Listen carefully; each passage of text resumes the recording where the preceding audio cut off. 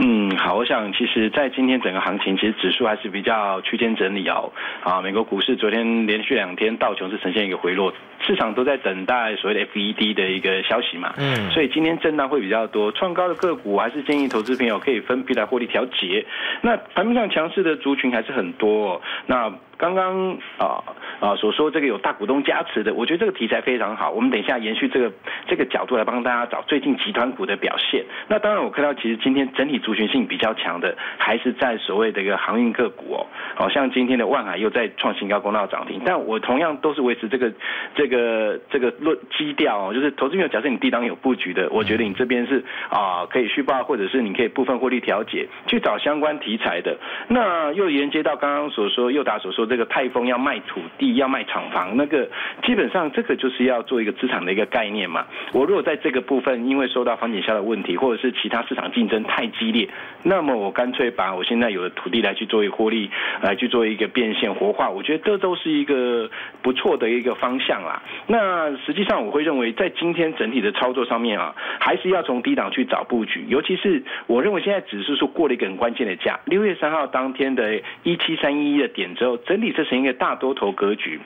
另外一段要上涨的一个走势正在开始，但是啊。还是要考虑到两件事情嘛。昨天就跟大家报告过，第一件事情是费德的会后报告，好，现在这个通膨数据有点超乎市场预期。第二个就是外资期货要进行啊，今天期货要进行结算，外资的空单有三万多口，我相信他应该会做部分的一个啊获利。毕竟啊，他过去三天买了三百多亿，那今天正好可以逢高获利调节，顺便把指数压低一点点。所以今天的一个全指股其实伤害最重的，其实反而是在啊友达。群创跟彩金就是面板嘛，占全值，价格又便宜，但是又可以把指数往下压，所以我觉得在这样的结构之下，投资者你要找股票，找什么样的股票？找未接，它还没有过啊这个。六月三号一七三一相对未接低，但是它又具备有同时有台面上多题材，像今天货柜很强。那我们之前跟大家讲，昨天跟大家提了二六一三的中柜，这是做货柜的啊，相关物流的。那你看在这边它集体今天就将接近创新高，你昨天再去做布局，你到今天还可以创个短线高点。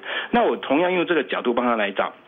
同时又具备有啊这个货柜的一个概念，而且啊它又有现在跟这所谓的一个啊土地资产有相关的的题材，而这家公司就是代号二零一零的春源，好，为什么要特别再提到它？因为大家先去看，好，它本身就是。国内很著名的钢铁裁切厂，但是它其实早在四十年前，我们跟大家报告过，它就已经有开始在从事货柜的一个制造。然后它最近的一个货柜里面使用的一个产品就是所谓的货柜角，我相信这个大家已经越来越耳熟能详了。这就是我说它不只是单单的一个货钢铁涨价题材，而是它的钢铁真的有去处，它真的有在做货柜。好，第二个部分就是我刚刚所说的这个土地资产啊，它的一个土地资产，光是在现阶段我们市场所看到的预估就有两到三。百亿哦，这个潜在股本大概有四个哦。那以它现在的价格才二十多块，我说这个位阶相对低。那再来就是今天还有一个很重要新闻，就是红海结盟这个硕和，它要准备切入，持续的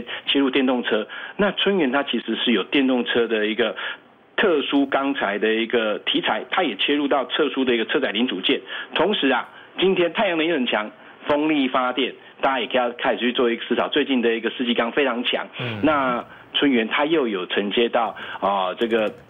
呃，相关的一个风力发电基础建设的一个大单，所以题材众多。那我们再看技术面，这个是最关键，因为最近资金都很喜欢找这个技术面底部刚刚起涨的，这股价有没有大涨？没有，刚刚从季线反弹上来。好，那关键价就是六月三号那一天的二十三点二元，它还没有突破，而大盘现在已经突破。但它这个最大量是出现在哪一天？五月二八跟五月三十一，最大量的位置是不是都已经被突破？没有错，都突破了。所以这个是一个底型完成，准备要去突破所谓。的六月三号颈线的一个绝对绝佳的一个起涨位置哦，所以我会建议投资朋友，当今天大家比较担心，哎，指数可能会有些震荡，或者是整个的一个啊国际局势上面针对通膨的一个问题，可能会有一些升息概念的话，那回过头来买具备有资产题材，又有现在政策加持的风力，还有就是市场全球的一个风向的一个电动车题材，同时又是有现在最强货柜来去做保护的一个题材，我觉得二零一零的春远投资朋友可以好好去做留意啊。